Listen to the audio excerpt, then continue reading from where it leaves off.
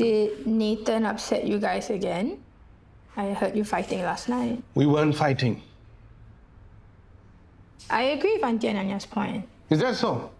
You don't even know the full story. I should go. You want more coffee?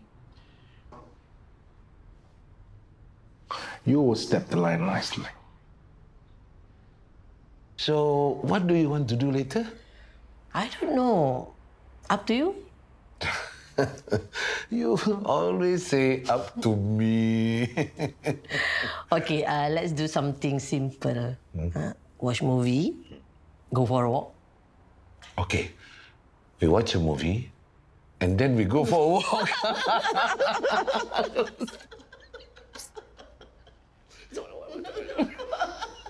Abang, do you see this? Leave them alone. You'll be fighting a losing battle. They are living a totally different reality. If you want to convince them otherwise, you have to be in it for the long haul. Are you ready for that? Well, I guess I just have to be. Are you saying that just to give me an answer? Look, what you're seeing is the disease at work, not the person. The disease is attacking their brain. You have to be super patient with them. I get it. It's not going to happen overnight. I just want you to know what you're taking on. You can't tell them that they're wrong. You can't argue, you can't fight, you can get upset. It's going to be very frustrating. Well, I guess I just have to give it my best shot then. Or you could let them be.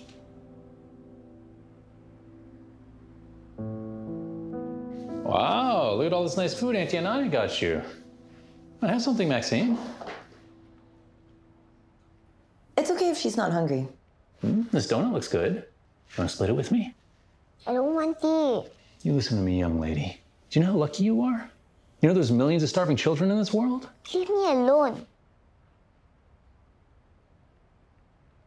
Millions of starving children.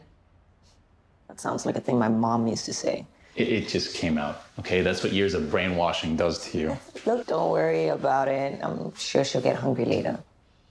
Ever since Emily left, she has these moods. She goes into this shell. She doesn't eat. She doesn't talk to anyone. And, like, I better go find her.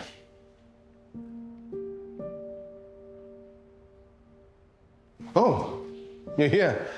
Uh, yeah, I worked out a revised timeline for the GFPH IT system upgrade. I emailed it to you. Good. Good. That's all. No pat on the back. I brought forward the deadline by two whole weeks. I saw that. Good work. Are you still angry with me? We're at work. Let's keep things professional. If you want to talk about Nathan, we can talk about him tonight. At home. Yeah. You're the boss. Let's go, Maxine. Come on. Sit down. Look, I just want you to know you can talk to Daddy about anything. Look, I get it. Life isn't fair. I know. One day things are going great, and then it's all taken away from you, and you don't understand why it has to be that way.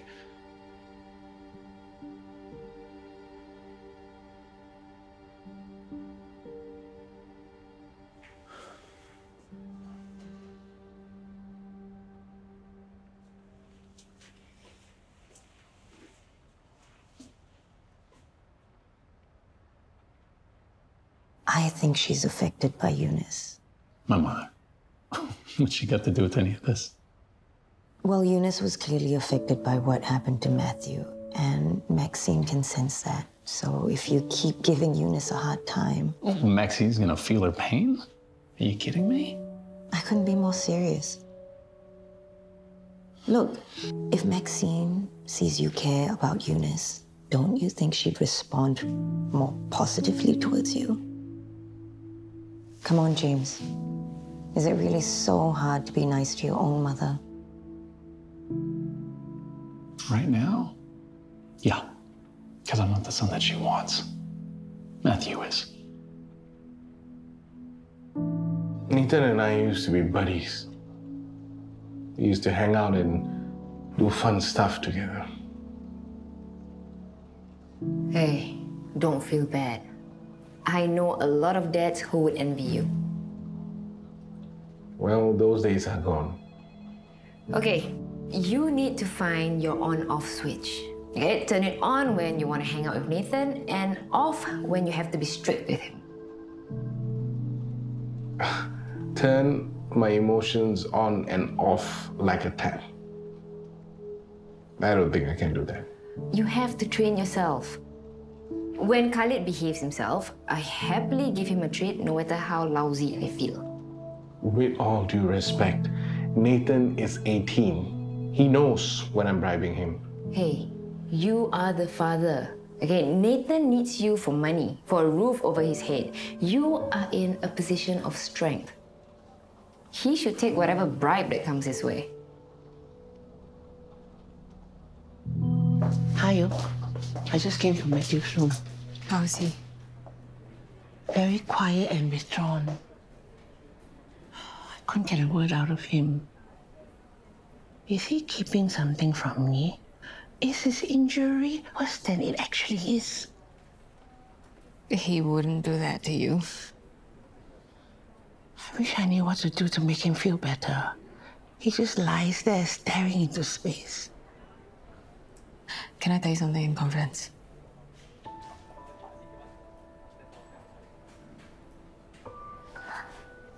Oh, Matthew is under police investigation for taking drugs. Oh my goodness. We think someone must have gotten to his food or his drink, and that's how he ingested the methamphetamine. Who would do such a thing to him? Someone he put away? An ongoing case is anyone's guess.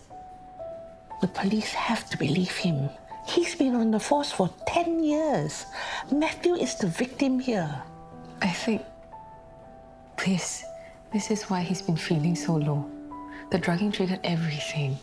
The aneurysm bursting, the injury to his spine. None of this would have happened if not for the meth. The person I knew who could have helped him has retired and migrated to Perth. No, no, no, you better not help. You know, Matt, the more you try to help, the more he'll be upset. He believes in the system.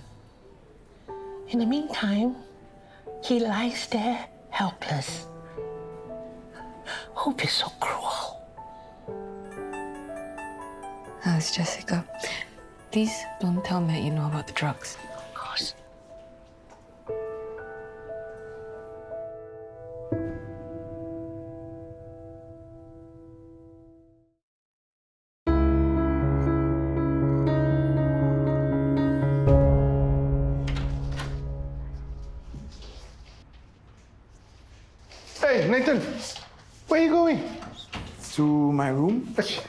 I got us lunch.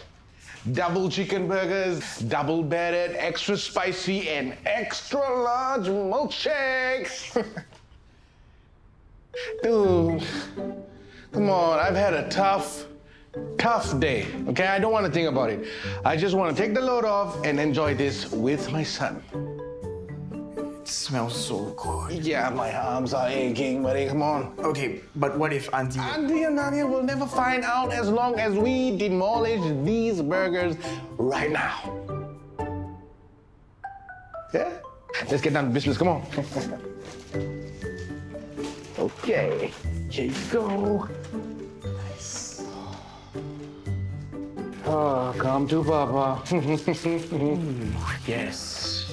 Yeah. Cheers. Cheers.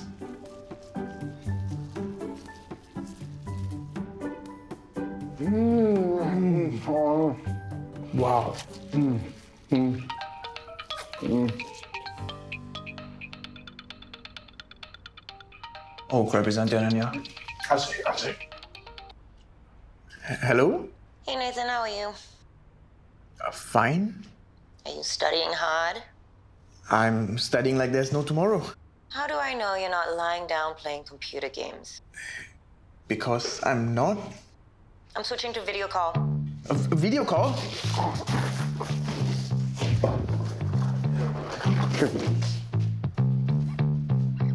Hello, Auntie Ananya. What took you so long? It took long? Uh, look, my books and my laptop. Sorry I doubted you. Uh, I better get back to. What's that on your face? It's uh, it's not. It's nothing. I'll see you later. Okay, bye. That was a close one. Minor blip. Shall we get back to it? Yes, we shall. Yeah. Burger Blitz Part 2, baby. Hey, we talk about the Oxley project? Sure. How's Maxine? Yeah, she's reading a book. Still refuses to eat, though. Did you try to get her to talk to you? Yes, I have broached the subject. Last thing she needs is a lecture from me. Believe me, I know. You must be referring to the Shelley way. Be strong, be tough, don't cry. It's a sign of weakness. You know when my parents got divorced? You know what they told me? They said, Today is like any other day. We don't want to see any tears. It must have been so hard for you. You know what else? I was about the same age as Maxine when that happened. So am I going to tell her how to feel or how to act? No way. Well, I guess that's one thing you can thank Derek and Eunice for. Well, to be honest, Emily leaving, that made me question myself a lot. Can I be a better dad than Maxine? Can I even do this alone? I mean, am I, am I even ready to step up? I think you have.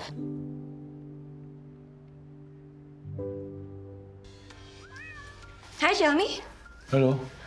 What are you watching? Show about cats. Hmm. It's cute. Can I show you something?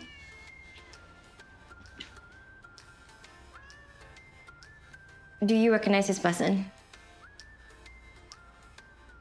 No? This is Chit Nadia, your wife.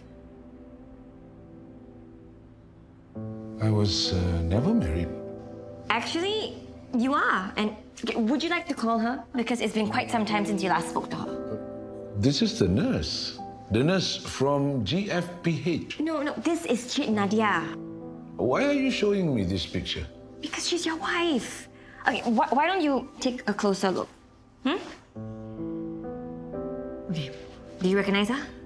Those kittens are cute. oh, look at that one.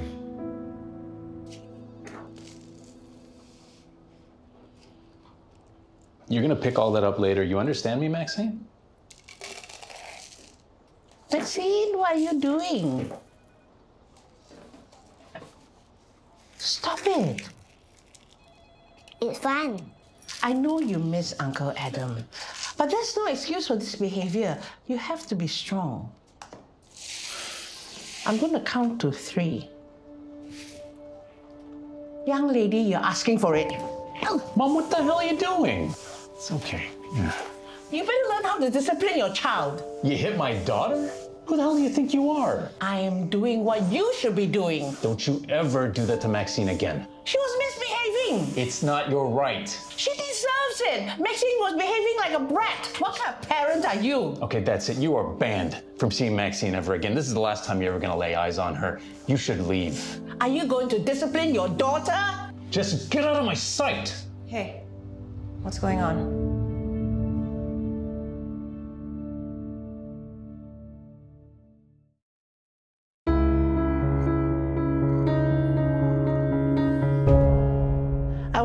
A favor, James. Your child was running riot. Mom, just give it a rest. Maxine, are you okay? Do you want some water? Don't you want to sit down? My bum hurts. Grandma hit me. All right, everybody on your feet. Maxine's in pain. Don't be ridiculous. Eunice, if you can dish it, you should. Fine.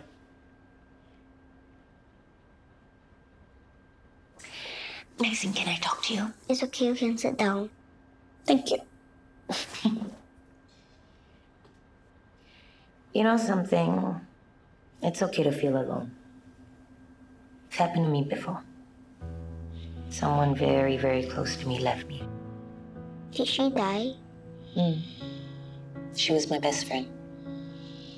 I miss her up until this day. I hate to be alone. I know. Everyone's dying. What do you mean? Uncle Adam is dead. Monkey's mom is dead. I think my mom is dead too. No, your mom's not dead. She's just gone away for a little while. She's dead. She's not coming back. Maxine, that's not true. Daddy, are you going to die? Please don't die. No, I'm not gonna die. I'm gonna be here for you forever. You promise? I promise.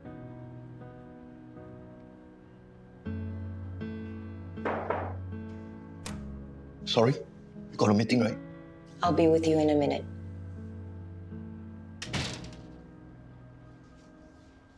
I think you should stay and sort things out with Maxine.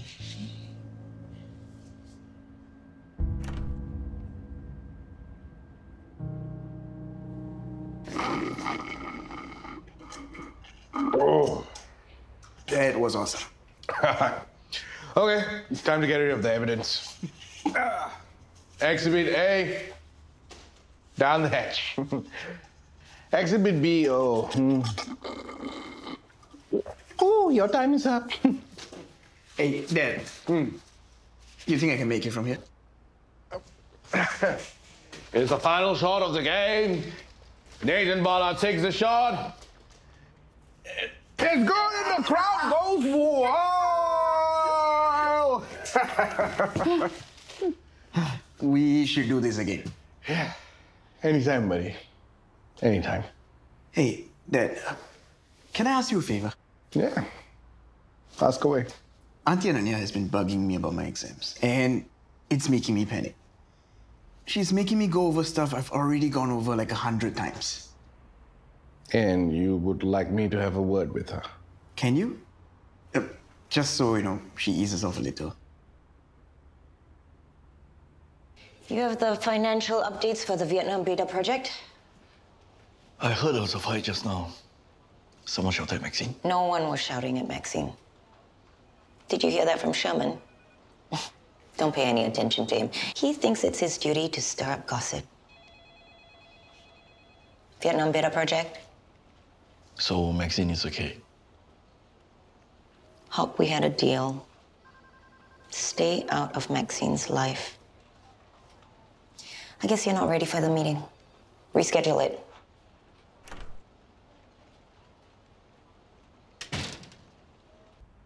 Hi, Chit Nadia. It's Zara again. I'm sorry to keep calling you. Can you give me a call when you're free later? No luck trying to get hold of her? Nope. You know, I showed Chit Hilmi a photo of Chit Nadia and he thinks she's a nurse at GFPH. Hilmi? Hilmi? Ibu. He's in his room, Ibu. Okay. Like, You're gonna go to his room? Yeah? You can't go to his room. Zara, don't do this. You're gonna show me how to make rempah for Miss Yam. Is it? Yeah, you were busy this morning. Can you show me now? Oh, okay. Okay, so you won this round. What about next time? I cannot do anything right. Well, I hope you've got a long list of excuses handy. Hey, Hey, Nathan, how's revisions coming along? Good. Good? Nathan? Are you done studying? I gave him the night off. You gave him the night off? What did he do to deserve that? Relax, Ananya. Okay, his head was about to explode. Has he been complaining? Huh? Did he talk you into this? I gave him the night off. You're not the CEO in this house. I'm his father. My word is final. Grandma is very sorry that she lost her temper with you. I have to learn to be more patient. I used to scold your daddy all the time. I wasn't a very nice mother. Maxine, did you know that when I was your age, Grandma and Grandpa decided to go their separate ways? And I didn't know how to handle that. All of a sudden, I didn't have any parents. They left you alone, all by yourself? Well, Grandma took care of me, and Grandpa was never too far away. It was like he never left. See, he knew I was going through a tough time, and he wanted to make sure that I was okay. Just like Grandma and I want to make sure that you're okay right now. It was wrong of me to play with food. Maxine, I'll let you in on a secret. Many years ago, I was pregnant with a little girl. Then a sad thing happened and I lost her. You mean she died? It hurt so much. But Grandpa tried his best to console me, but I shut him out. We were never the same after that. And we got a divorce. That's so sad. It is. It is very sad. Our family doesn't know how to deal with our emotions.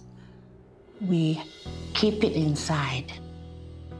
And we fool ourselves into believing that we're strong and we don't feel any pain. Maxine, there is no shame in showing that you are hurt. I'm so, so sorry that I hit you. Please forgive me. Okay. And I'm sorry I was naughty. Grandma loves you so much. Maxine, um, say bye to Grandma. Bye bye, Grandma. I love you. I love you too.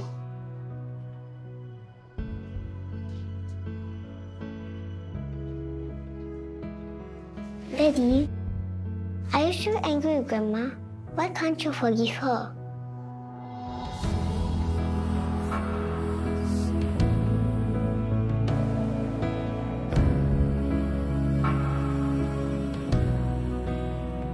Okay, have your lunch. I'm not hungry. Don't be silly, you haven't eaten all day. I prefer the stuff. If you're trying to upset me, it won't work. Something happened yesterday. It made me realize that I was too hard on James when he was a child. I'm not gonna make the same mistake again. Not your son. Come, Matthew. Have something.